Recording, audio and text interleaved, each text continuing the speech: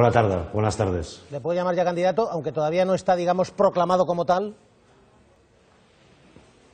Sí, bueno, hay, hay la propuesta que yo efectivamente ayer en la Coordinadora Nacional de Cataluña en Comú de, de que yo fuera el candidato y, y además yo estoy absolutamente eh, predispuesto, pero es cierto que tiene que haber un proceso de, de ratificación que se va a producir eh, la próxima semana.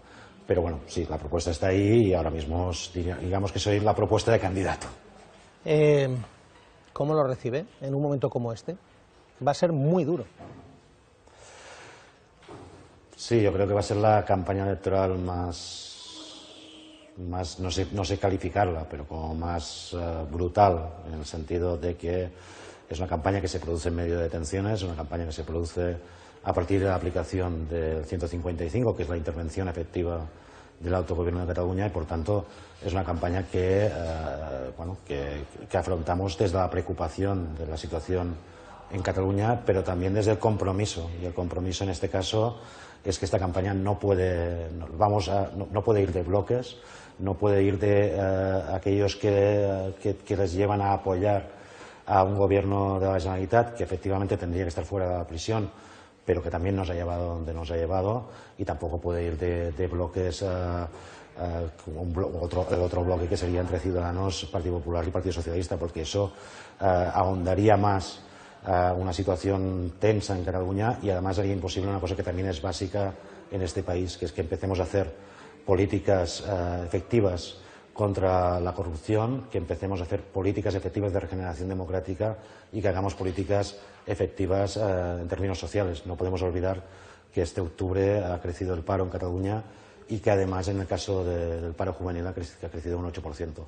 Por tanto, nosotros afrontamos esta campaña sabiendo claramente que el Parlamento de Cataluña que salga elegido de esta campaña se tiene que eh, encarar un gran reto, que es cómo desbloqueamos la situación y ese desbloquear la situación pasa por dejar de pensar en bloques. Este país, esta campaña va básicamente sobre, eh, sobre Cataluña, sobre toda la ciudadanía de Cataluña y cómo encontramos grandes acuerdos como país. Y yo creo que los hay. Y tenemos que trabajar en ellos y no en bloques. Y trabajar en grandes acuerdos de país significa básicamente que este país no quiere mayoritariamente represión, que efectivamente este país eh, quiere construirse, pero construirse con todo él y desde las amplias mayorías y que este país no quiere que su autogobierno esté intervenido. Es a decir, partir de aquí, señor, señor, pues señor- nuestro compromiso. señor es Domenech, decir, eh, es decir, Sí. que ustedes en ningún momento se plantean ir a una candidatura, digamos, esa candidatura que se llama Movimiento 1 de Octubre, eh, candidatura país, que es la que está planteando el PDCAT, con Esquerra, con la CUP, incluso con a lo mejor eh, el, Nosotros satélite hemos- ahora. nosotros hemos planteado- Dante no. Martín, ustedes van, los comunes van libres en este sentido. Sí, sí, los comunes hemos planteado que en estos momentos lo que hace falta es eh, precisamente construir eh, mayorías eh, absolutamente transversales. Lo que hace falta en estos momentos es desatascar la situación. Y esto no se hace apoyando al Partido Popular, porque efectivamente lo que hemos visto de, ese bloque que se llama constitucionalista, pero que yo creo que al final es un bloque de apoyo a cómo, cómo- cómo el Partido Popular ha encarado la situación en Cataluña, que me parece que lo ha hecho eh, de una forma horrible y además con tintes antidemocráticos, y tampoco va de, alimentar más un bloque que ha gobernado Cataluña durante estos últimos años. Va precisamente de pensar en, en- en arreglar el presente construyendo el futuro. Y en ese sentido nosotros eh, presentaremos nuestra candidatura propia. Pero, señor Domenech, mójese ya como candidato. Imagínense que ustedes decantan la balanza después de las elecciones del 21 de diciembre. Esa noche hablamos usted y Sí. yo y resulta que los comunes deciden y pueden elegir un gobierno de Esquerra, PDCAT y la CUP o un gobierno de PSOE, PP y Ciudadanos. ¿Hacia qué lado inclinan ustedes la balanza? Yo se lo voy a intentar decir clarísimamente, porque además aún no hemos empezado ni la campaña electoral, no hemos visto efectivamente qué candidaturas se presentan ni con qué propuestas, pero yo espero que esa noche usted y yo podamos hablar de cómo en Cataluña se ha construido una gran mayoría transversal que efectivamente ah, cree que Cataluña tiene que decidir su futuro, que también cree que, que se tiene que construir desde políticas sociales, y es que, y- pero sobre todo que se han superado dos bloques. Yo ya sé que esta campaña todo el mundo va a decir que hay dos bloques. Nosotros vamos a decir que existe un país y que ese país es el que debe ganar. Y eso significa superar efectivamente los bloques. Por tanto, esperemos a esa noche electoral porque igual no hablamos de, esas dos ah, posibles alianzas, sino que podemos hablar de, cómo construimos el futuro no quedando bloqueados en el presente.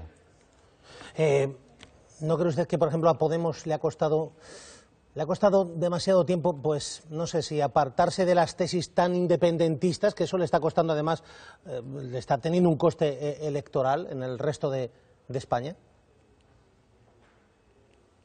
Yo creo que Podemos eh, ha hecho una apuesta muy valiente por decir claramente que, que, el 155 no solucionaba nada y que sobre todo, más allá del 155, lo que no soluciona nada es afrontar un conflicto político como si fuera un conflicto penal, que no soluciona nada y que agranda las fracturas, poner a, gobernantes en prisión y que esto se tenía que decidir con un referéndum pactado. Esa apuesta, que es verdad que es una apuesta difícil cuando hay tanta tensión, pero es una apuesta que yo vi una encuesta reciente del Mundo, el diario El Mundo, que no es sospechoso de podemismo, creo de podemita, que decía que ya un 57% de la ciudadanía de toda España apostaba por un referéndum pactado, que es un dato histórico. Es cierto que ahora mismo en, ese alineamiento que se está produciendo, donde dejamos de ver muchas cosas importantes, ahora ustedes acaban lo de, lo de Trías, que tendrá que verse exactamente qué hay ahí, pero olvidamos, por ejemplo, que, que efectivamente en Cataluña tenemos aún el caso Palau Abierto, que es un caso que afecta a unos partidos que ha gobernado este país hasta hace poco, y en España tenemos un Partido Popular con casos de corrupción ah, galopantes. Es cierto que ahora parece que todo esté determinado por un, solo, por un solo alineamiento, pero creo que la apuesta que ha hecho Podemos le permite construir mejor el futuro que no los alineamientos del presente. Eh, le pregunto tres cuestiones muy rápidas. Albano Dante Fachín, ya sabe que ha dimitido hoy. Bueno, iba, iba, a ser, digamos, cesado ah, mañana, pero él se ha adelantado y ha dimitido. Escuche cómo lo explica. Entendemos que Cataluña ha hecho envejecer a Podemos de una manera arrolladora. Y yo como secretario general he decidido que si me he apuntado a una organización que defiende unas cosas y ahora defiende exactamente las contrarias, por coherencia no puedo seguir siendo eh, secretario general de esta organización y por eso, cuando acabe la rueda de prensa, dimitiré como secretario general y también de militancia de, de Podem Cataluña y de Podemos. ¿Ha envejecido tanto Podemos por el asunto Cataluña?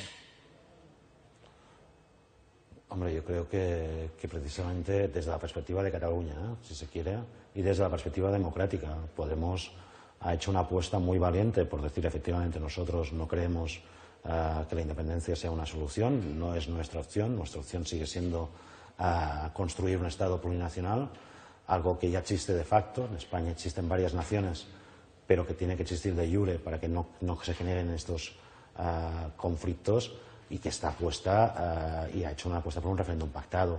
Yo creo que esto no es envejecer. No sé si, si Albano de antes se refería a esto, no porque no he podido seguir la rueda de prensa, pero me parece que, no, que no, ese calificativo no se justifica.